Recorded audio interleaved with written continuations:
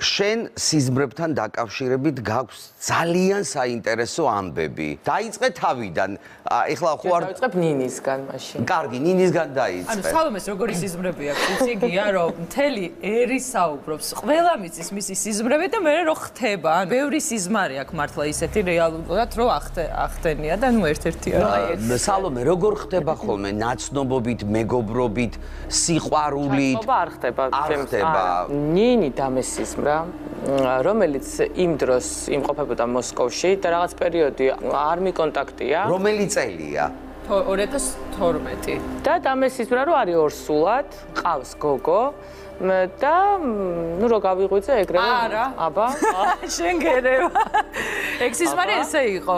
ფაჩუჩები გაჩუქე გოგოსიო. ამ დროს ფეხმძიმეთ ხარ თუ ჯერ ბავშვი ამ დროს ვარ ფეხმძიმე მაგრამ არავინ არ იცის რომ ფეხმძიმეთ მალავს ნათესაობაში მალავს. და ურეკე და უთხარი და იცი პირველი მახსოვს რომ მითხრა რომ ვინ გითხრაო და მე ვთქვი არავინ იმიტომ რომ მართლა დამესიზბრეთ გქონდა უნდა გითქვა შენ მაგ მარმა დამირეკა და მე როდესაც ეხოზე წავიდა მახსოვს რომ დამირეკა რომ მართალი ყოფილხარ იმიტომ რომ გოგო აღმოჩნდა პატარა ელენიკო რომელიც არის ჩემი ნათლული. ნუ ეს იყო ესეთი რაღაცა კარგი შემთხვევა, მაგრამ мама ჩემი როდესაც გარდაიცვალა 40 დღის განმავლობაში იმდენად ყოველდღე ხდებოდა და რეალური იყო რომ ყველა ჩაერთო. დედა ჩემი, мама ჩემის მეგობრები, ყოველდღე მესიზრებოდა мама ჩემი, რაღაცას მეუბნებოდა, ანუ მავალებდა.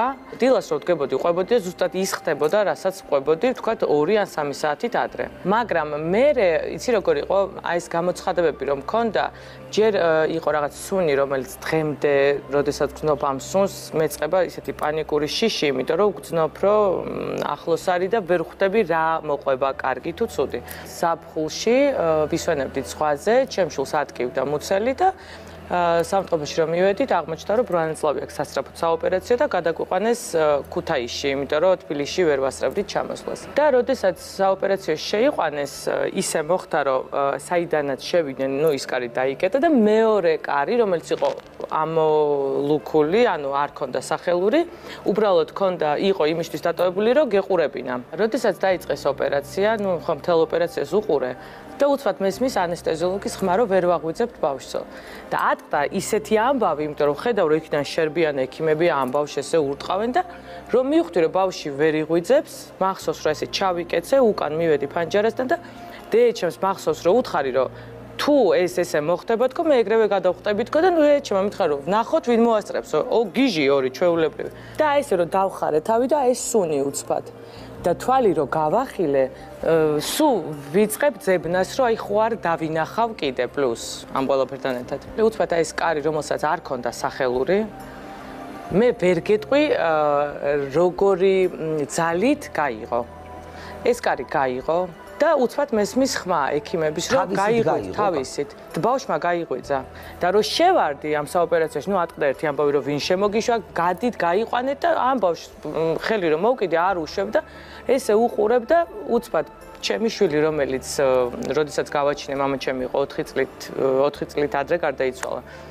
თვალი გაახილა და მითხრა რომ აი ეს ხელი აწია და დაიწყო მამაჩემის სახელის ხსენება რომ დათო იყო აქო. და ეს კიდევ კარგი რომ იქ იყო დედაჩემი და კიდე ორი ჩვენი ახლობელი რომელიც შეესწრო ამბავს იმიტომ რომ ალბათ რომ მომეყოლა იტყოდნენ რომ ცოტა გააფრინაო ნერვიულობის ფონზე მაგრამ იქ იყვნენ ადამიანები რომლებმაც დაინახეს და ნუ მე ვიყავი ბედნიერი რომ აი ეს ყველაფერი რაც ვთქვათ ხდება ჩემ ცხოვრებაში თან იყვნენ მომსწრეები და ეს რა სუნია უფრო გავს და ბოდიში ყველასთან ვერ ვიტან ჰოლანდიურ ყვავილებს. იმიტომ რომ სუნი არის ახლოს მიახლოებული აი ამ სუნთან და საოცრად არ მიყვარს. მაგრამ თუ ეს სუნი ვიგრძენი აუცილებლად ამ ბავში ხდება ავად.